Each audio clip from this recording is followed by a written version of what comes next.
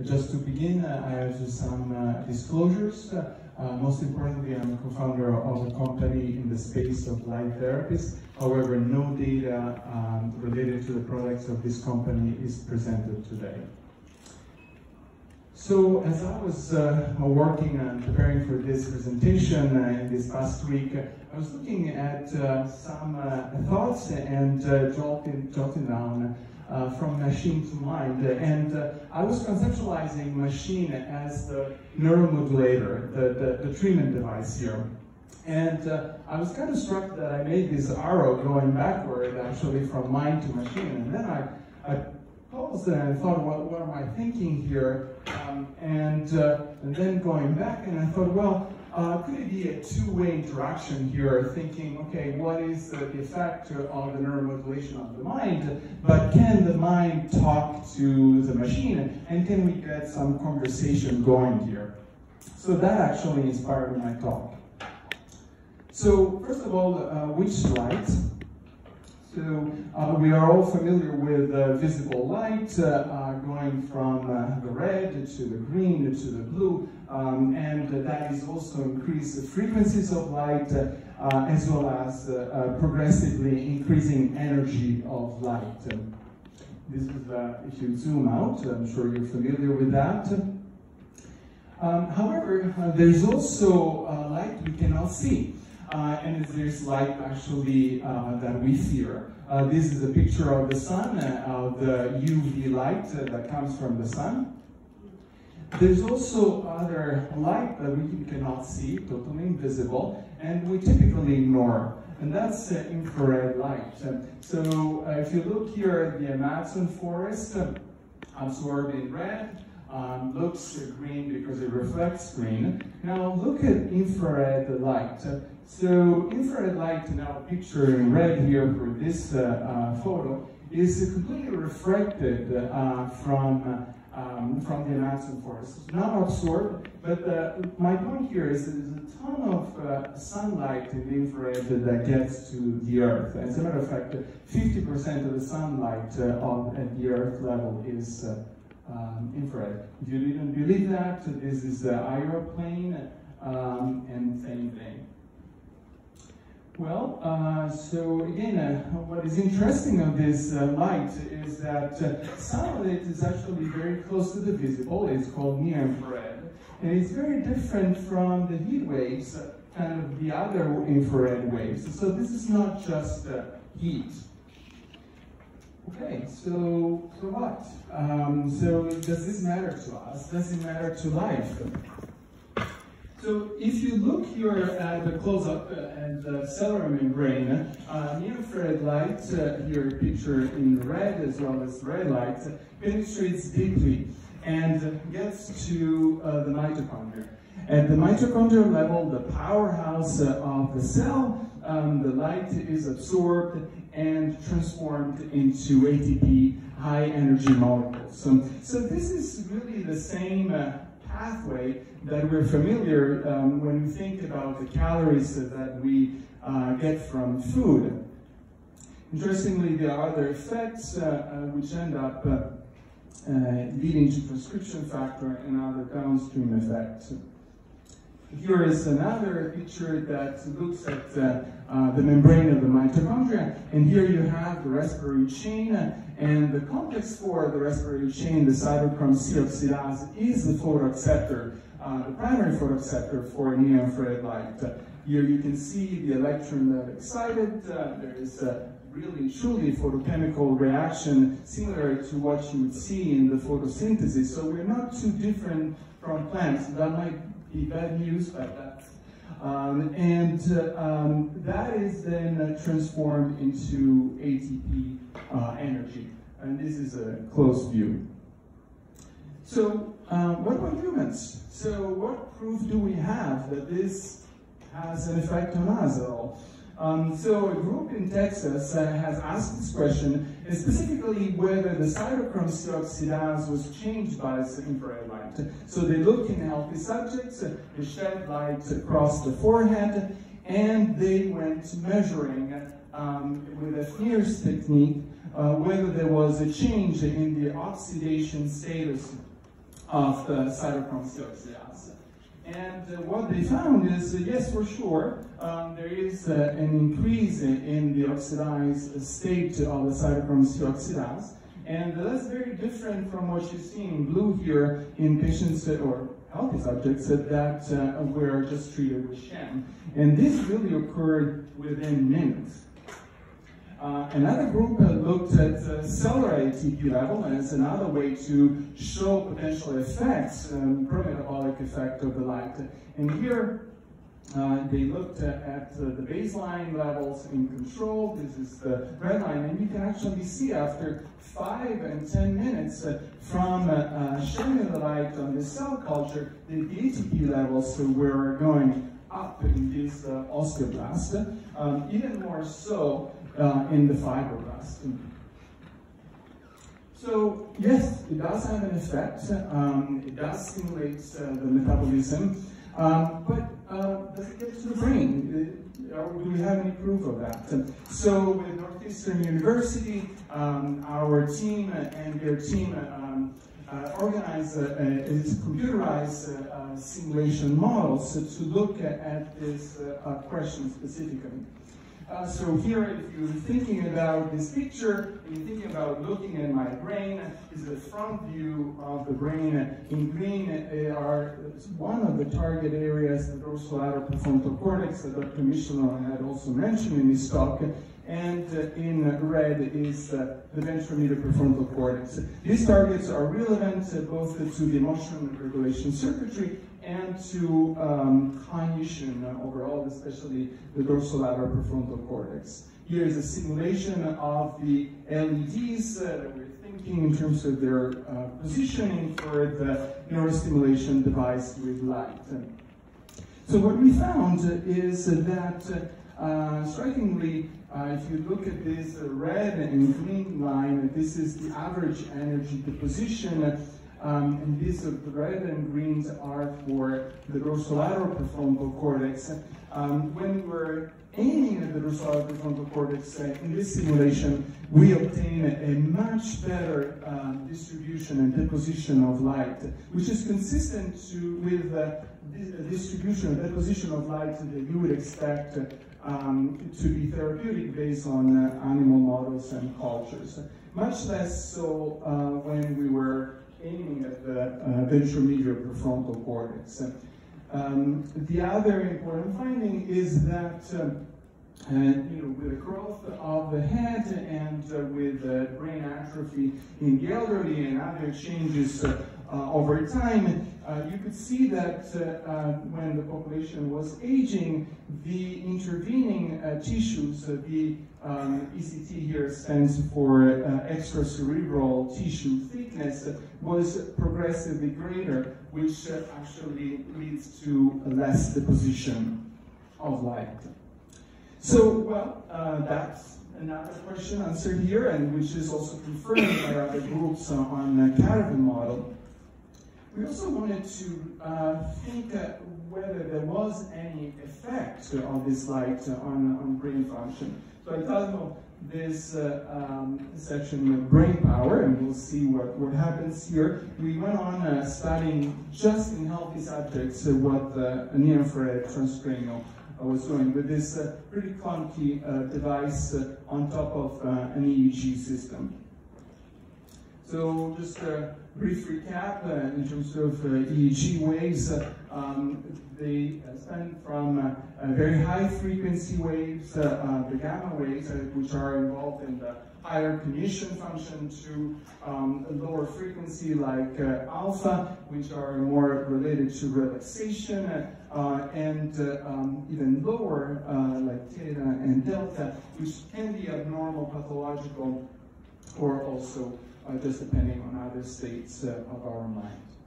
Uh, so briefly, uh, there were just 10 subjects which uh, gone, were gone through different sessions on a weekly basis, continuous light, sham light, uh, and then pulse light. I will present some of the data here.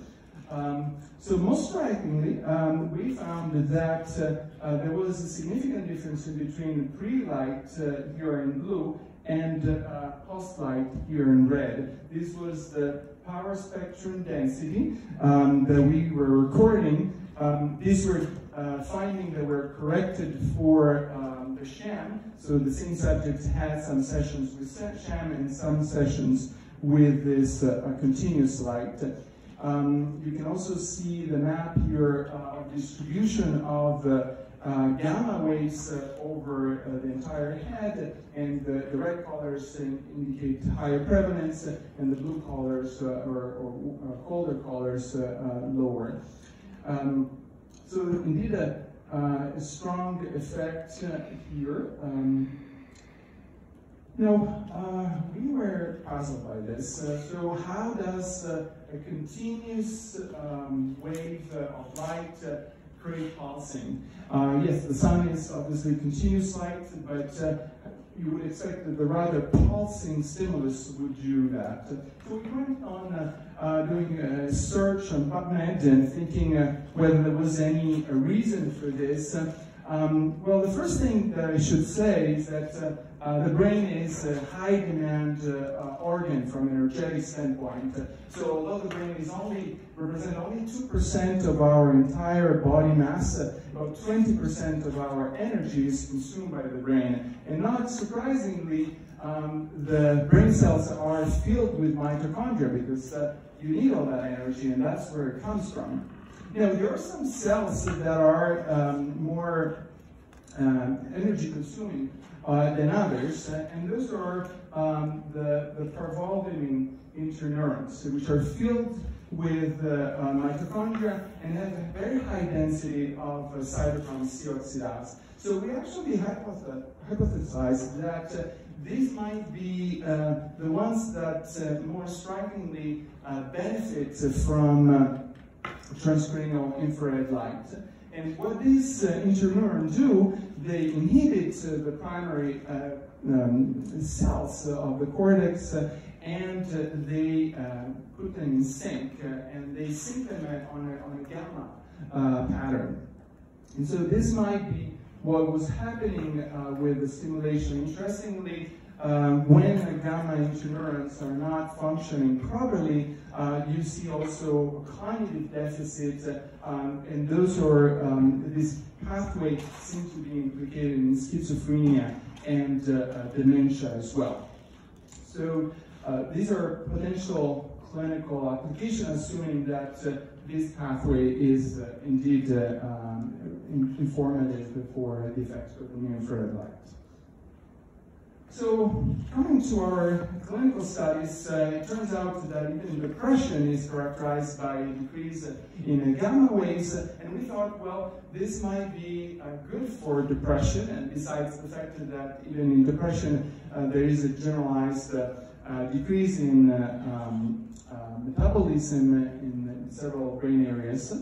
Um, and so we went on with the study. Um, uh, back then, uh, uh, we, when we started this double-blind randomized study, um, we were just finishing a proof of concept after the company that has sponsored that study uh, bankrupted and uh, we were basically left with no devices. So uh, all we could get was this wrinkle treatment device. Um, we were not too confident that it would do it, but uh, we, we did go for it. This was a fairly small study with 21 subjects, uh, eight weeks uh, of treatment twice a week.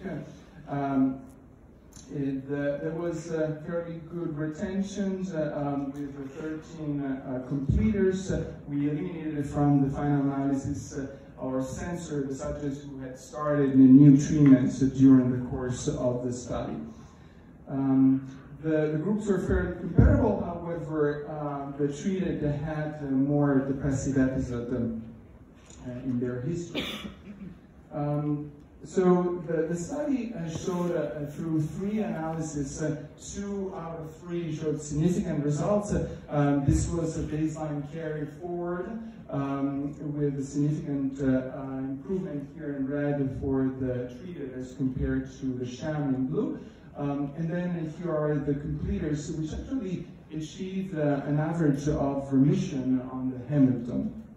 So from there, we went on uh, on uh, a bit more confidence. Uh, here there was a company that was supporting uh, uh, the next study. They came up with a very sophisticated device um, that was actually incorporating and reproducing the, the parameters of our previous study. So here we were very confident. Uh, we went with a sophisticated uh, paradigm uh, of um, design with sequence parallel comparison design. Uh, we also had a longer follow-up.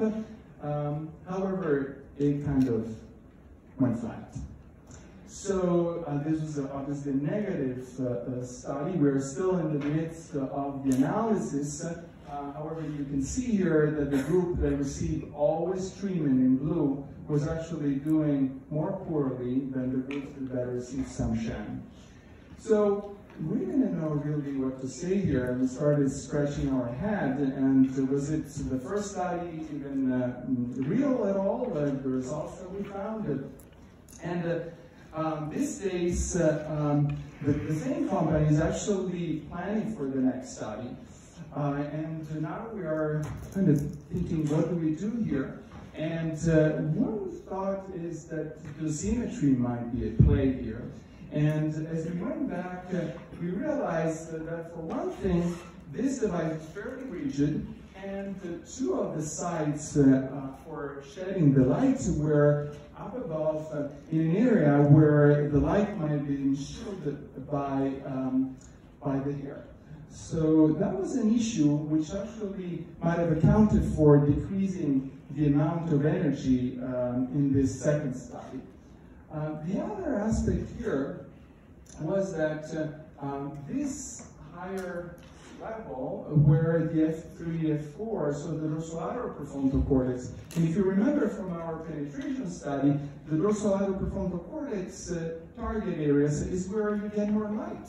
So not only we were shedding less light, but we were shedding the light towards the ventromedial prefrontal cortex, and we were likely getting less light through.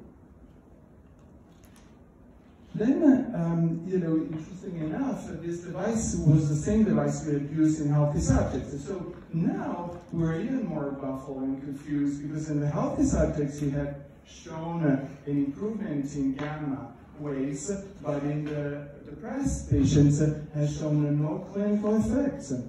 Um, now, one, one other aspect at play here is that the healthy subjects were much younger than the depressed. So also um, there was an increase in uh, uh, thickness of intervening tissue that might have uh, contributed to that difference as well. And uh, finally, um, so if you think about even just uh, um, the threshold here, the difference uh, that you are producing in, in, in effect on gamma, there's no guarantee that uh, that threshold would be the same threshold that has clinical significance. So all of that uh, leads to one conclusion here. Uh, one size doesn't fit all.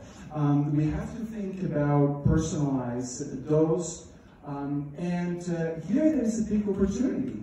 Uh, we can potentially personalize the dose. Let's see why. Um, so here's the machine again, uh, and here is the mind. I would uh, follow um, Dr. Pedrelli here and say that these are the mind sensors. Now, yes, we, we've shown that the machine can, with the light, uh, neuromodulate uh, um, the gamma activity. And uh, uh, we have sensors now that are fairly easy to use and are in, in home use, as well as some of these devices are in home use uh, devices. Dr. Mischoulon was mentioning um, devices that were in home. And um, so this could really go both ways. Um, the machine could inform, uh, sorry, this, the mind could inform the machine and that the neuromodulator could adapt uh, its treatment to uh, that information. So you could come up here with uh, algorithms where you actually match the treatment dose with the uh, effect size that you're producing. And you can go on validating whatever dose and effect size you're producing based on patients um, or healthy subjects' uh, um, ratings and uh, um, also passive features. So indeed, you could come up with a personalized dose that is validated. So this is really the excitement of these non devices. I just wanted to conclude uh, um, also uh, mentioning something else. So far, we talked about light from outside, um, but there is a question about light from within. Um, you might have seen these pictures uh, before of bioluminescence. Uh, uh, these are jellyfish if you haven't seen them before, but if you did. Uh, and uh, um, they emit light. Um, you're familiar with fireflies. Well, it turns out that uh, um, we don't just absorb light, we also emit light. and um, again, these are not thermal radiations, these are near-infrared radiations the color is just a way to exemplify it. And there is some hypothesis that uh, actually neurons might communicate using photons and using these very weak uh, light. And that might be important to explain some of the higher order functions of our brain. Um, so we really don't know the entire story today. We know there's more to study here, and uh, we wonder what's the effect of the light we shed from outside into the light from inside. Uh, this is our group. I have a different picture from the other presenters, but I believe it's the same group, uh, maybe a year before. Uh, I really thank all the collaborators here. Um, and uh, this is my take-home message. Um, this can be done. Thank you.